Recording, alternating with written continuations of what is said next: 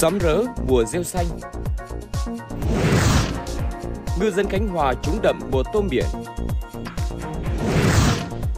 Vụ nổ đầu đạn làm 5 người thương vong Quảng Ngãi, xe khách lao xuống ruộng, tài xế tử vong. Công an thành phố Hồ Chí Minh thông tin chính thức vụ nghi cho bé trai hút ma túy. Nhà vườn trồng sầu riêng lo lắng vì nước mặn xâm nhập. Chào quý khán giả của góc nhìn trưa nay. Vừa rồi là những thông tin chính mà chúng tôi gửi đến quý vị trong buổi trưa hôm nay, thứ ba ngày 28 tháng 3 năm 2023. Bản tin của chúng tôi liên tục cập nhật và gửi đến quý vị những thông tin đáng chú ý nhất xảy ra trên cả nước. Và tôi là Trinh Trà của chương trình Góc nhìn trưa nay. Chỉ cách Sài Gòn hai giờ di chuyển sắp xuất hiện Wellness Resort hàng đầu Việt Nam tại Hồ Tràm, nơi hệ thống tiện ích Wellness được nâng lên một tầm cao mới, đón đầu xu hướng Wellness Investment đầu tư 20% chỉ 600 triệu đến khi nhận nhà. Best Western Premier Tram Resort Hồ Tràm về với ngôi nhà Wellness của riêng mình. Thưa quý vị, những ngày tháng 3, đông đảo người dân và du khách lại háo hức tìm về xóm Rớ, phường Phú Đông, thành phố Tuy Hòa. Nơi đây đã trở thành địa điểm hấp dẫn để mọi người chiêm ngưỡng vẻ đẹp của thiên nhiên mùa rêu xanh với những cảm xúc đặc biệt. Màu của rêu, lời mời gọi đầy thú vị và cả sự tò mò với những vị khách phương xa. Chẳng vì thế mà ngay khi ánh bình minh ló dạng, bên kè biển sóng rớ, hàng ngàn người dân và du khách đã có mặt tại đây. Đẹp, độc đáo và lạ mắt chính là sức cuốn hút làm sao xuyến bao người khi đến trải nghiệm kè rêu xanh sóng rớ.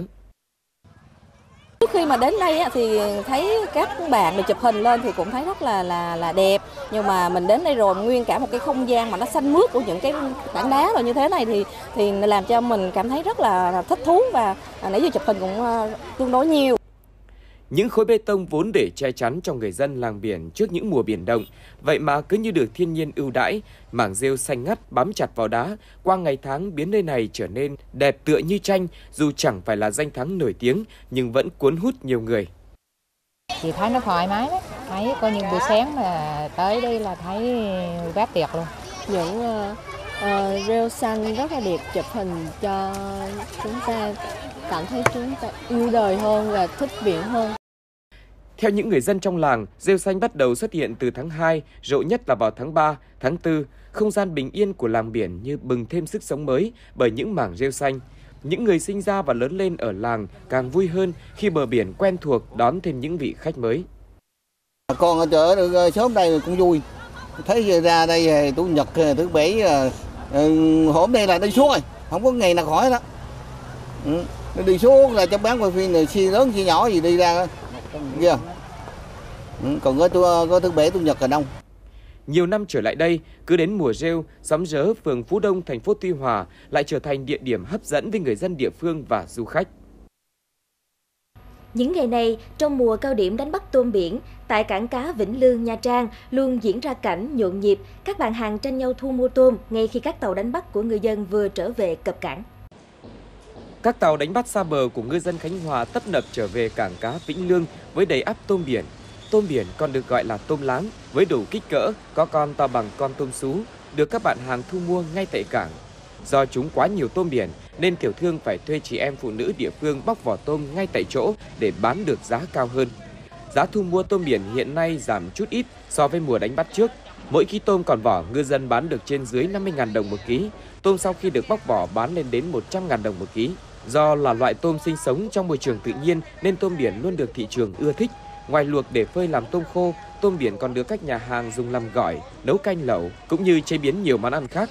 Năm nay, do thời tiết biển êm sau Tết đã tạo thuận lợi cho các tàu đánh bắt vươn khơi trong mùa đánh bắt tôm biển hiện nay. Ngày 28 tháng 3, Bệnh viện Đa khoa tỉnh Con Tum cho biết vẫn đang tích cực cứu chữa cho 3 người bị thương nặng trong vụ nổ đồ đạn làm 5 người trong một gia đình thương vong.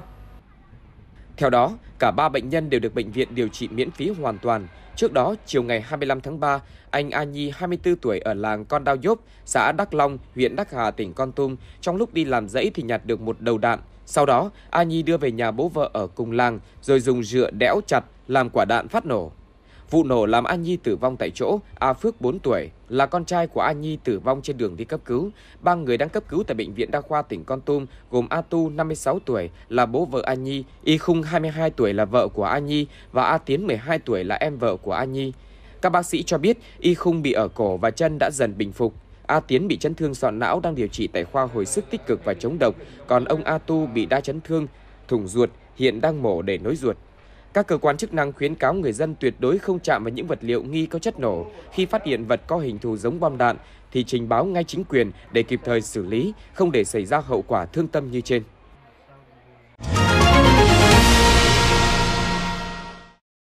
Ngày 28 tháng 3, Phòng Cảnh sát Hình sự Công an tỉnh Quảng Ngãi cho biết đã phối hợp Công an huyện Bình Sơn bắt chủ tiệm vàng cho vay lãi nặng. Cảnh sát hình sự đã bắt đối tượng Lê Thị Thọ, 30 tuổi, hộ khẩu thường trú thôn Liên Trì, xã Bình Hiệp, huyện Bình Sơn về hành vi cho vay lãi nặng trong giao dịch dân sự. Đối tượng Lê Thị Thọ hành nghề kinh doanh buôn bán vàng tại tổ dân phố 1 thị trấn Châu Ổ. Lê Thị Thọ đã cho nhiều người trên địa bàn huyện Bình Sơn vay tiền với lãi suất cao, không thế chấp tài sản, giấy tờ người vay. Những người vay tiền là người dân buôn bán công nhân, lãi suất vay tương đương từ 101 đến 243% một năm. Nhiều người vay không có khả năng trả nợ đã bỏ trốn khỏi địa phương. Hiện vụ việc được bàn giao cho công an huyện Bình Sơn tiếp tục điều tra xử lý. Chiều ngày 27 tháng 3, trên tuyến quốc lộ 1A, đoạn qua địa phận thôn 2, xã Đức Chánh, huyện Mộ Đức, tỉnh Quảng Ngãi, đã xảy ra vụ tai nạn giao thông ô tô khách và xe mô tô. Ô tô lao xuống ruộng làm chết một người. Ô tô khách do tài xế Nguyễn Anh Chiến sinh năm 1984, quê ở Quảng Bình, điều khiển xe khách theo hướng Bắc Nam. Khi tới điểm trên, do tránh gấp một người đàn ông điều khiển mô tô băng qua đường, làm xe khách bị lật xuống ruộng. Lúc xảy ra tai nạn, trên xe khách có hơn 40 hành khách. Vụ tai nạn đã làm tài xế xe ô tô khách chết tại chỗ. Người đàn ông đi xe mô tô bị thương nhẹ. Rất may, các hành khách trên xe khách đều được an toàn. Có một số người bị thương nhẹ được đưa đi sơ cứu. Vụ tai nạn đang được các lực lượng công an tiếp tục điều tra và xử lý. Ngày 27 tháng 3, Công an thành phố Hồ Chí Minh đã bắt tạm giam người mẹ và người đàn ông nghi cho bé trai hút ma túy rồi quay video gây xôn xao dư luận nhiều ngày gần đây. Qua kiểm tra, hai người này dương tính với ma túy. Trước đó, 10 giờ 30 phút ngày 24 tháng 3, Công an thành phố Hồ Chí Minh tiếp nhận tin báo của anh TMT 30 tuổi ngụ quận Tân Bình về việc phát hiện các đoạn clip ghi lại cảnh con ruột cháu TNAT 3 tuổi có dấu hiệu bị bạo hành và dụ dỗ xúi dục sử dụng chất ma túy tại địa chỉ số 50 9 Hậu Lân, xã Bà Điểm, huyện Hóc Môn. Do mâu thuẫn nên từ năm 2021, vợ anh là NTN 23 tuổi ngụ quận Tân Bình đã mang theo hai con là cháu TNAN 5 tuổi và TNAT bỏ đi và chung sống như vợ chồng với Lê Văn Bậm 44 tuổi ngụ quận 10. Đến ngày 22 tháng 3, anh T phát hiện đoạn clip quay lại cảnh cháu AT bị mẹ và Bậm ép sử dụng ma túy nên trình báo công an, đồng thời đăng tải trên các trang mạng xã hội. Sau đó, Bậm và N đưa cháu AT bỏ trốn. Đến 15 giờ 30 phút ngày 26 tháng 3, Công an thành phố Hồ Chí Minh đã phát hiện bắt giữ Bậm khi đang lẩn trốn tại địa chỉ số 181 10, đường 355 ấp Hậu, xã Tân An Hội, huyện Củ Chi. Khi xét nghiệm nhanh, phát hiện Bậm và N dương tính với ma túy, riêng cháu AT âm tính với ma túy và đã được đưa đi kiểm tra sức khỏe, kết quả chưa có dấu hiệu bất thường.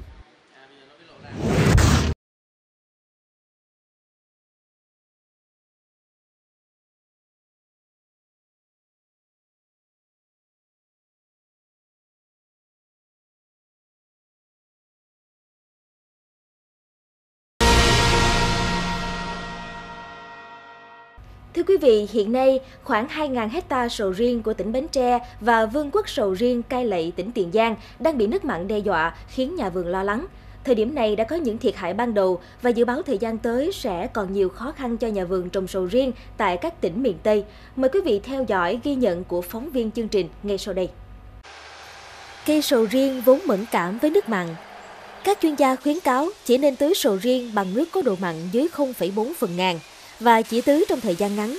Vì vậy nên gần một tháng qua, ông Văn Công Tư, xã Tiên Long, huyện Châu Thành, tỉnh Bến Tre không dám lơ là giây phút nào vì nước kênh có độ mặn 0,4 phần ngàn đã ngấp nghé ngoài bờ ranh. Mình đây có ờ, tổng cộng là 6.000 mét vuông mà tình hình mình tưởng đâu là mà hạn không gây gắt mà nay thấy gây gắt quá trời giờ hiện tại là thiếu nước tưới. Đấy, trơ đáy mương rồi luôn đó. Mình trữ được số nước rồi tưới tưới nhỏ giọt cầm hơi vậy thôi chứ còn ờ, tưới cho đủ nước thì không tưới được. Nếu mà nói tình hình mặn là nay chắc cũng có hơn cả tháng vậy rồi. Nhưng mà có lên rồi có xuống. Nhưng mà đợt này thì ờ, bị đóng cái cống ở đây nè. Thành ra giờ không có nước tưới luôn. Đợt nó lên cũng 0.3 vậy mấy ông đóng cống lại. Hôm qua là đo 0.44 thành ra có người thì đề nghị xả vô ờ, tôi thì tôi không chịu bởi vì cây trồng mà cái, cái ngưỡng đó là không thể tưới được xả vô thì nó cũng không có lợi mà như Vườn nhà ông Tư là một trong số hàng trăm vườn sầu riêng tại các xã Tiên Long, Tân Phú, Phú Đức thuộc huyện Châu Thành, tỉnh Bến Tre đang chịu cảnh thiếu nước tưới nghiêm trọng. Do không được tưới nước nên nhiều vườn sầu riêng đã bị khô héo, rụng trái non. Cách vườn ung tư chừng vài trăm mét, khoảng 3 công sầu riêng đang cho trái của gia đình anh Thái Thanh Thương đang có dấu hiệu héo lá, rụng trái. Anh Thương cho biết vì đóng cống trong một thời gian dài, nước từ sông Hàm Luông cũng đã bị nhiễm mặn, nên vườn sầu riêng đã không được tưới trong gần một tháng qua. Mặn quá trời khô rồi nó lên nhiều hàng ngàn rồi mà nước thì không có um, đủ để tưới nó cây trái nè anh nhìn nè. Nó rụng mẹ nó trơn rồi nó cây đó anh coi nó còi cọc hết trơn à. Hy vọng là cái cống ở ngoài bến gớ này là làm cho nó hoàn chỉnh lẹ để ờ, chặn nước ngọt lại để ờ, nước vô để cho bà con đủ tứ tiêu chứ không thôi kiểu này là rụi hết trơn á. Trên thực tế, xung đột giữa nhà vườn trồng sầu riêng và nhà vườn trồng các loại cây khác đã nổ ra vì mỗi loại cây trồng có ngưỡng chịu mặn khác nhau. Theo người dân địa phương, nếu dự án cống bến rớ thi công đúng tiến độ, tức phải đảm bảo ngăn mặn, trữ ngọt được trong tháng 11 năm 2022, thì người dân có thể lấy nước ngọt được từ sông Ba Lai để tưới. Tuy nhiên, dự án này hiện nay vẫn đang ngổn ngang nên chưa thể ngăn mặn, trữ ngọt được. Trong khi đó, nhà vườn tại các huyện Cai Lậy, Cái Bè và thị xã Cai Lậy thuộc tỉnh Tiền Giang cũng bắt đầu lo lắng nước mặn từ sông Hàm Luông, sông Cổ Chiên sẽ xâm nhập qua Cù Lao Ngũ Hiệp của tỉnh Tiền Giang, từ đó sẽ ảnh hưởng đến vườn sầu riêng của họ. Theo ông Võ Văn Men, Chi cục trưởng Chi cục trồng trọt và bảo vệ thực vật tỉnh Tiền Giang, địa phương cũng đã có phương án sẵn để ứng phó với tình trạng xâm nhập mặn thường xuyên đo độ mặn nước sông để kịp thời cảnh báo cho nhà vườn. Còn ông Huỳnh Quang Đức, Phó Giám đốc Sở Nông nghiệp và Phát triển Nông thôn Bến Tre cho biết đã khảo sát thực tế tại các nhà vườn và khuyến cáo nhà vườn không xử lý cho ra trái trong tháng 3. Bởi theo ông Đức, đây là thời gian sầu riêng tại các vùng miền Đông và Tây Nguyên rộ vụ nên giá không được tốt. Bên cạnh đó, đây cũng là thời điểm xâm nhập mặn khá gây gắt, dẫn đến thiếu nước khiến cây bị mất sức nếu xử lý cho trái trong thời điểm này thì dẫn đến cây dễ bị chết nếu lỡ bị nhiễm mặn. Những thông tin vừa rồi cũng đã khép lại chương trình của chúng tôi ngày hôm nay. Quý vị hãy nhớ dành ít phút mỗi buổi trưa đón xem chương trình Góc nhìn trưa nay vào lúc 11 giờ 30 phút mỗi ngày trên trang tv.tuổi trẻ.vn. Mọi đóng góp cũng như thông tin liên quan, quý vị có thể chia sẻ thông tin về địa chỉ email thời sự tuổi trẻ com vn Chương trình do truyền hình Báo Tuổi Trẻ thực hiện với sự đồng hành của Trang Quốc. Xin kính chào và hẹn gặp lại.